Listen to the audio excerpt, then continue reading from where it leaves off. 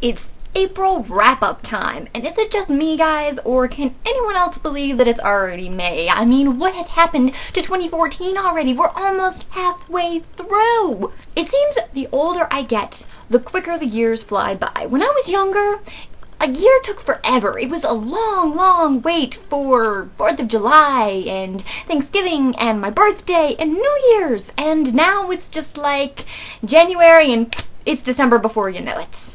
So, this month I finished off quite a few books. I am very, very proud of myself. First of all, I finished Odd Thomas by Dean Koontz, and I finished the first book of The Incorrigible Children of Ashton Place, The Mysterious Howling, on audiobook, which was a really, really fun experience. I also finished The Stone of Valhalla by Mikey Brooks. This was a really fun book. I gave it, I think, four stars, and you can find my review of it on Goodreads.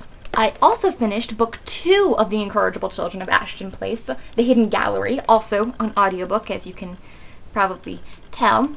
This was... Ah, this, this series is just so much fun. It, it's somewhere between uh, a Jane Austen and like an E. Nesbit or um, an Edward an Edward Eager story. It's really fun. It's like a classic children's fantasy, but the narrator has like like a sense of propriety and it's just I don't know it's really fun it's really entertaining and there's actually quite an entertaining mystery going along with it so I'm really excited to read the third book and I will have to read it because my library doesn't have it on audiobook and I'm kind of really disappointed because I was really enjoying listening to these but I really have to know what's happening next so I have to grab that. I also read a non-fiction book this month, a biography to be specific. Mary Poppins She Wrote the Life of P.L. Travers by Ver Valerie Lawson. And yes, I read this only because I was really looking forward to seeing Saving Mr. Banks. I did read Mary Poppins, I think it was last year, because I wanted to do a movie to book comparison, and also because I went and saw the play. And I actually did not enjoy the book that much. So I guess it's not that big of a surprise that I didn't totally enjoy this biography. I mean, I really only read it because I wanted to read about P.L. Travers and her clash with Walt Disney over the making of the movie, and it was a really short section, and this author, Valerie Lawson, doesn't seem to have a very high opinion of Walt Disney, and me being like a total Walt Disney fan, that really irritated me. It was interesting to know all of this stuff from the biography when I did watch Saving Mr. Banks, but I far preferred the movie of Saving Mr. Banks. It does make me wonder just how factually accurate the movie was because I did notice a couple of discrepancies from this biography to the stuff that happened in the movie. And so I'm wondering just like how factually accurate it is, but it's a really good movie. It was a, it was a beautiful mu movie. Um, I would definitely recommend it to anybody who has any interest in Walt Disney or Mary Poppins or the making of it. But um, yeah, I definitely preferred the movie.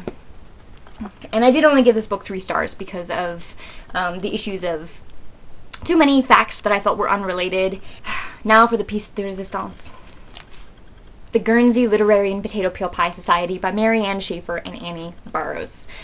Oh my goodness, this was the best book that I have read in ages, and I don't know what what exactly about it I loved so much. It was just such a beautiful and wonderful book. Uh, there were a couple of things in this book that did irritate me on, like, my own personal values and stuff. So there were a couple of things in there that I, I, really didn't like. So that's the reason why it only got four stars. But on the whole, the story is just magnificent and beautiful. And I love the way it's written. It's all written through letters and telegrams between all the different characters. Um, it's not as restricting as that kind of format would sound because uh, Shaffer and Barrows, they really give you everything that you are craving in the story. They let you see all of the things that you want to see through the letters and stuff. So they were very clever about using that format. And it's just a really, really magnificent book. Definitely check out my review of that one. Um, I did a video review of this last Wednesday, so I'll link that below. Uh, I just finished listening to The Convenient Marriage by Georgette Heyer. This was an abridged audiobook, which is one reason why I haven't picked it up yet. It's a Regency romance. It was an abridged book. I have vowed long ago never to touch an abridged book if I can avoid it, and the one reason that I decided to actually listen to this instead of picking up an unabridged copy of the book is right here.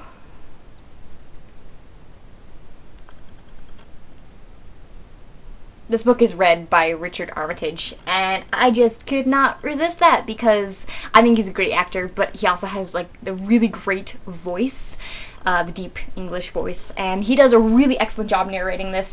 It's not just because he has a really great voice, but he's actually a really good narrator, and he did voices for all the characters. And it cracked me up at first, but he, I, I actually forgot who was narrating it after a while because just it was a really good narration of the book, and I started picturing uh, just the voices as the different characters instead of Richard Armitage doing voices for different characters, if that makes any sense. So this was a really good one. And I gave it four stars.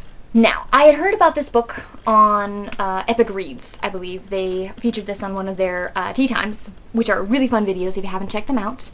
So um, everybody was really excited about this book, and I was totally intrigued because it's like really, it's supposed to be a really dark and gritty young adult novel about um, kind of a homicidal Land of Oz and how Dorothy eventually turned into the bad guy. And I was really intrigued because I've been leaning towards uh, some darker material reading-wise lately. So this is Dorothy Must Die by Danielle Paige, and I'm sure a lot of people here on BookTube know about this because everybody's talking about it right now. Unfortunately, I did not get very far into this book. I only got about 100 pages in because there was a lot of swearing, and that's just not something that I find acceptable in books, so I just eventually stopped reading it. So here's my reading goals chart.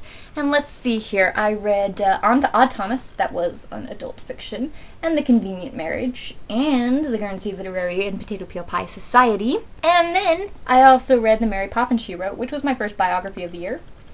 So I'm doing really well on my goals so far. Three adult fiction, two nonfiction, one biography, and one finished series.